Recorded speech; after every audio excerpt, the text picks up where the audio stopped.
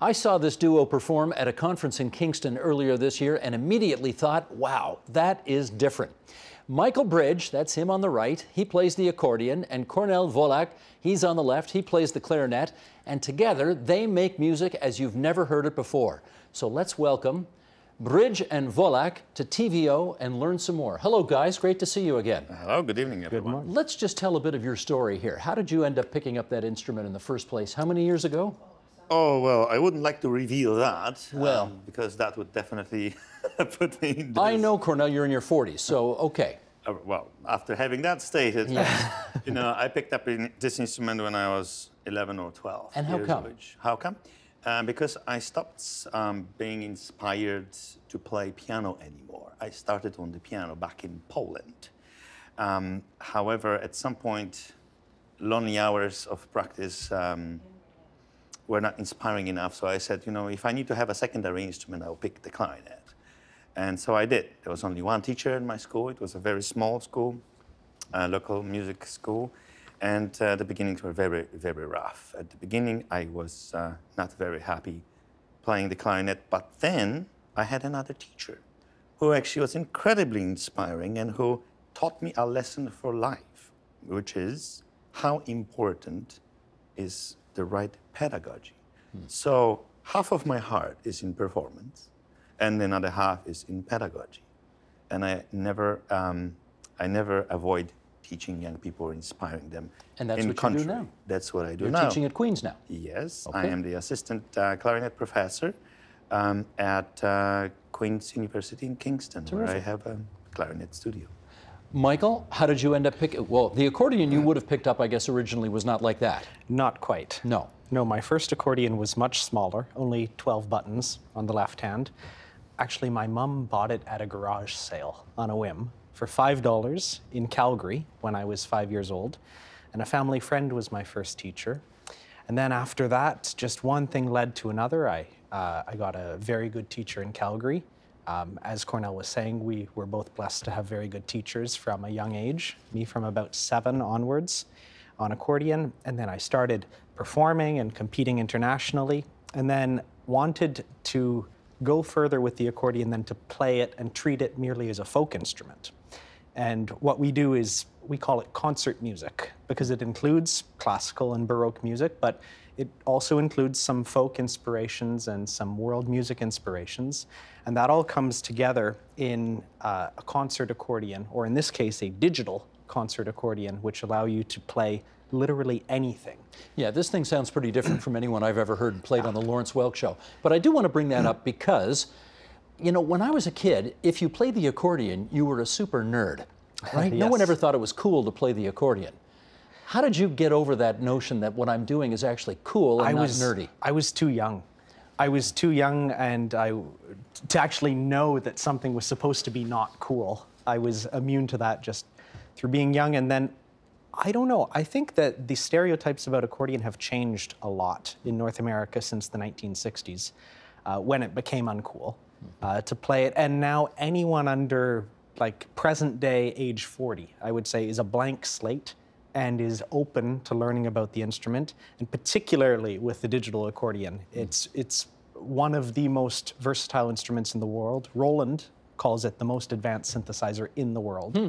Um, so it's, uh, it's a completely different instrument to what anybody expects. How about Weird Al Yankovic? Was he at all an influence? I certainly know about what he does, and I love it. Uh, love his comedy and his parody work. Uh, of course, he's a, a, big person on the scene, but what we do is is in a different vein. It sure is, and we'll see some of it in just a few moments. Kornel, I do want to know how this act first got together, though. Well, it seems like this act is still under um, construction. We still learn about each other, actually. I just learned why Michael still uses only 12 buttons on this accordion. because he started on a 12-button accordion. I don't know what the others do. that really is uh, revealing. But you're, you're from Poland originally, and you're from?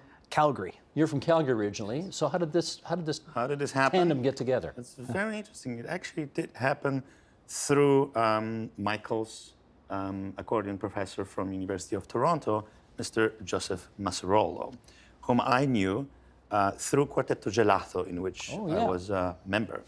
And then at some point, I was playing with uh, Joe quite a bit. And then at some point, Joe said, You know, Kornel, um, I have grandchildren, you know, I have a family. I want to take care of them, spend more time with them. However, I have this young, hot headed student Hot-headed. who would be, yes, um, quite appropriate for the kind of show you want to be doing. And why don't you guys, uh, guys get together? And uh, that was when Michael was at his, what, first year? First university. year undergraduate. So how long ago was that? What about That'll be nine years now. Nine years ago. Yes. Okay, here's the next question then. It's the Bridge and Wolak duo. Yes. Yes. Not Wolak and Bridge. You're older. Yes. You're a professor. He's not. Yes, he's not. So why does he get first billing? Because I have more buttons. You have That more buttons on your be. Yes, he, he presses more buttons. Well, I tell you, this will this will be very revealing about the duo. This this Mm-hmm. short story, how democratic we are, and how much we trust in one another, And blind luck. and blind luck. So on my tour of China, um, some months ago, probably last year at this time it Yeah. was, uh, we had to finally decide on the name that we will be using for publicity and for for all the media and so on, and for our recordings, and we had to decide right away. And I call Michael's cell phone. Turns out he's um, somewhere in the U.S. on tour or something. And I said, Michael, we have to decide right now. And we had a short list of about 100 names. Um, That's a short list. that was a short list. Okay. And Michael said, so how are we going to do it? I said, Michael, do you have a coin over there? And uh, he said, sure I do. And I said, why don't you toss it and uh, pick one side? And if it lands on the other, it's my name first. And if it picks on the one you chose, uh, and then I put my full trust into Michael's uh, But of to- course- tossing abilities. Of course, we, we know in the end that luck got it right. Now, yeah. here's the question. Let me spend a moment here just looking at your, what do you call that again? Digital accordion? Yes. Because there's no piano keys on it, which are like the kind that most people would That's know. right. Yes. Okay, go. Explain. What is that thing? How long do you have? oh, So this, can be is, long. This is uh, what's called a chromatic keyboard. Uh, instead of a piano keyboard, it's a different layout of the buttons. It means that I actually have more range in less space. So I switched to this when I was 16. I started with the piano keyboard, but I saw uh, at that point classical music that people were playing on accordion around the world, and I realized that I was playing on what I thought was a, a more limited instrument. So I relearned my alphabet, so to speak. It'd be like if you woke up one morning and somebody moved all the keys around on your computer. You have the technique to do it, but everything is in the wrong spot. So there's no middle C on that thing. There is. There it's is. this one right there, but you wouldn't know it. No, you looking would at not. it. You would not. Um, can I ask you how much that costs? These would run uh, surprisingly cheap for what it does. This would be under 10,000 Canadian. However, that's just for the shell. Um, then the programming inside, which is what makes it very unique and what I've spent uh, close to a decade now working on in terms of refining my sound on this instrument, is all customized. So everyone who has this instrument sounds completely different. Gentlemen, I think you should take us to church now. The church. And by that I mean, it's time that we heard you play. And just to sort of set this up, it will sound like we're in church off the top. But then I urge everybody to stick around because we don't end up in church by the time this song is over. You want to tell us what this is called? I think I think I know which song you're referring to. Okay. Michael, will you take a wild guess? Oh, sounds like a little thing we've done called Rock Bach, which was the, the title of our first album, and it, it sort of represented what we were uh, starting to do with classical music, which is to steal it and then completely redesign it. I mean, accordion wasn't invented in the, er- in the Baroque era when Bach was around. Clarinet was in an early, early formative stage, nothing like what it is now. Um, so we've done a version that we hope Bach would like for the 21st century. Everything you will hear is 100% live. There's no background music. All the sound we make between the two of us. And uh, The this, song is great because it can really feature most of the of the features that Michael is using on the digital accordion, and it also presses some of my technique to the very limit. You know, so Gentlemen, the stage is yours.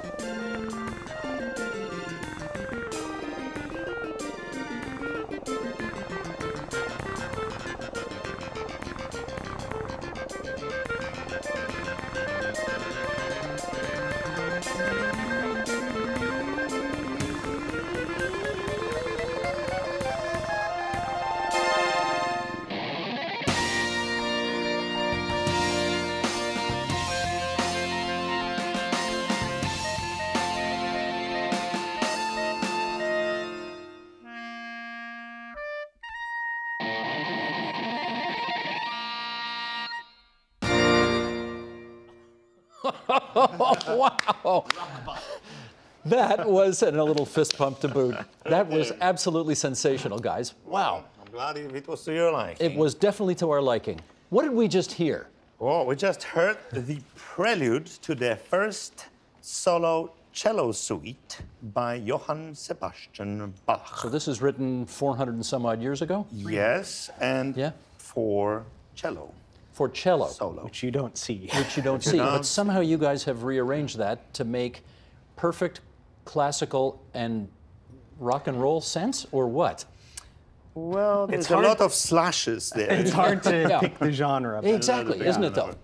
I think that's why it connects so well, because it's just indefinable. That's the age of modern music. I mean, the age of the niche is gone with the major record labels that had everybody in one box or another.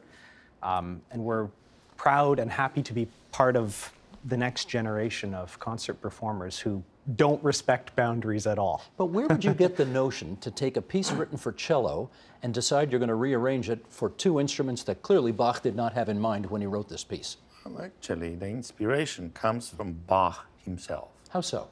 Bach was a master composer and master borrower, so to speak.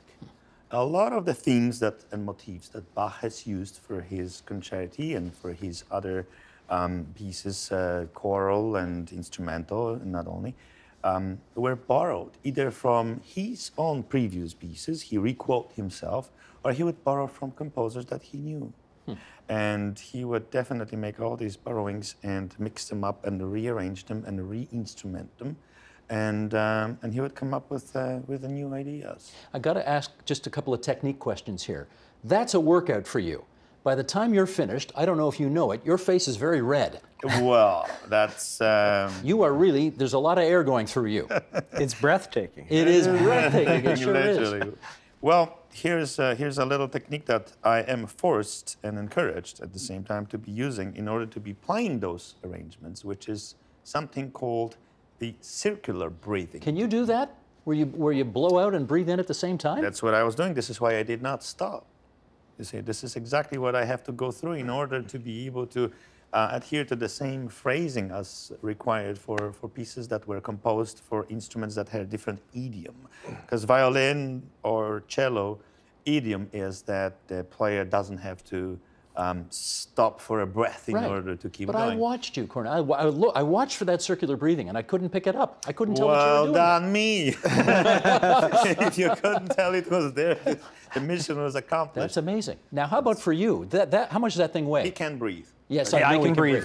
how, how much is that? This is relatively light for accordions, about 25 pounds. How do you not have back problems, or how do you not have like arthritis in your fingers? Because you're really you've got to work out there too. Well, I have to be very careful. I work out a lot, um, yoga, practices like that, a lot of stretching, a lot of self care because it is uh, among the more physical instruments, and particularly being on the road and spending you know hours at the airport or hours in the car. Like it's, and to still get up early and try to go to the gym when you're on the road and and take your work with you anywhere. Uh, it's that's one of the to. hardest parts of touring. Actually. Yeah, you, you can't get out of shape, or else you can't pick that thing up, and then No. the whole thing's off. The good news is actually the act of practicing on it is also a workout. Ah, To a certain degree, so. Now we established that you're teaching at Queens. Are you st- have you finished your PhD yet? No, I'm halfway through my doctorate at University of Toronto. In? Which in accordion, which is the only university in North America where you can do uh, a doctorate in accordion. So uh, a Toronto uh, and Ontario distinction. Isn't that cool? And is all of your training from Eastern Europe originally? Mine? Uh, no, it's actually quite varied. I started in Poland, and then I did um, do a lot of commuting to study with professors at Paris Conservatoire, also in Prague. Then I managed to go to New York, study there for a while with um, some renowned clarinetists, and then eventually I ended up doing my master's and part of my DMA at Indiana University, Bloomington in the US. Did did I don't know if I have this right. Right. Abba Eban, the former Israeli politician, He- wasn't his son one of your teachers? He was my primary teacher and a mentor as well. And we're still in, in touch. We're very good friends now, professional friends. And a wonderful man. And he taught me some real great fundamentals of clarinet playing. And not only that, but style and techniques and so on and so on.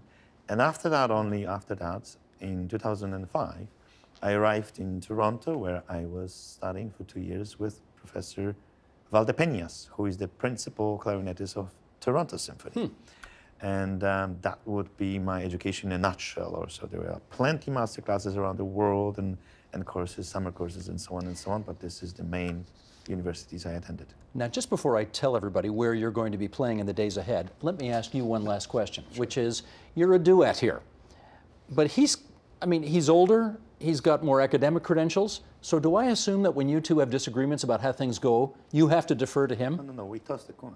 Oh, again with the coin. Not at all. In fact, no.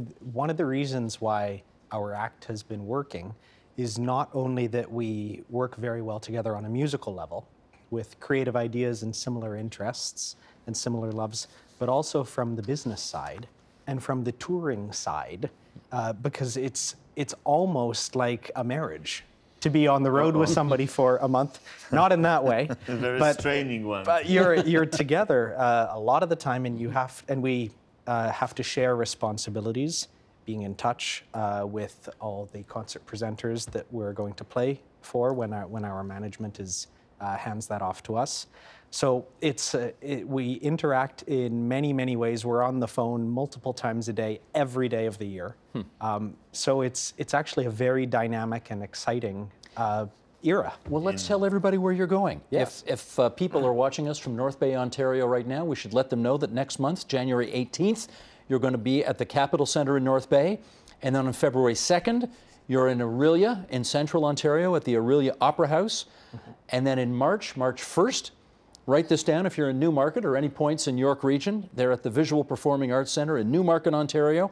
And then once March gets going, you guys are off to the Midwest in the United States, and we don't see you for a long time. That will be a long tour across the Midwest of America, mm -hmm. and we will be um, um, performing our Bach to Broadway program. So that's what we will be featuring. Not back to Broadway, but Bach to Broadway. Bach, to Broadway. To Broadway yes. Well, I got to tell you, I saw you guys, as you know, several months ago for the first time. I thought you were sensational.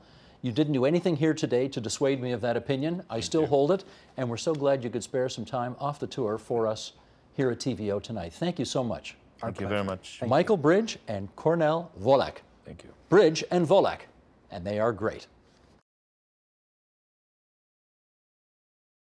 The Agenda with Steve Paikin is brought to you by the Chartered Professional Accountants of Ontario. CPA Ontario is a regulator, an educator, a thought leader, and an advocate. We protect the public. We advance our profession. We guide our CPAs. We are CPA Ontario.